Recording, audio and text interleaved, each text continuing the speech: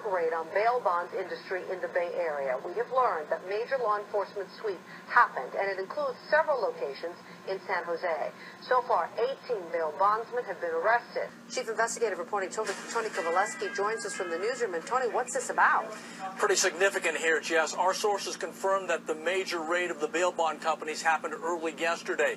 The State Department of Insurance confirmed what our sources shared, but they asked us to hold the information on the raids because they were were not complete and there was a concern for officer safety. Here's what we now know, confirmed by sources at the Department of Insurance.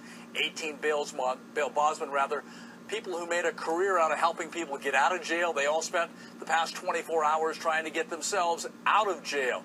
The arrest started early Thursday and continued into the night. Sources close to the investigation tell us Luna Bail Bonds in San Jose has had 10 employees arrested.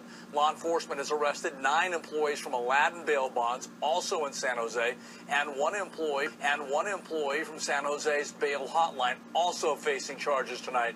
When the raid is finished, a total of 31 bail bondsmen from seven different companies will spend time behind bars. They're all accused of colluding with jail inmates to get information on potential bail cases to beat the competition and get the bail business. The Santa Clara County DA has filed charges, and they are serious, all felony offenses.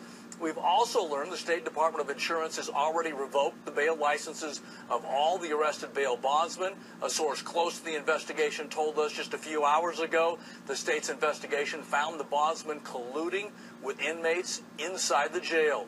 13 additional arrests are expected soon. Jess, Raj? Tony, before you go, so your sources have been telling you too that this just didn't happen willy-nilly. They've actually been looking at this, and this raid has been in the works for quite some time. Exactly, Jess. This has been a very robust investigation dating back to November, December of last year.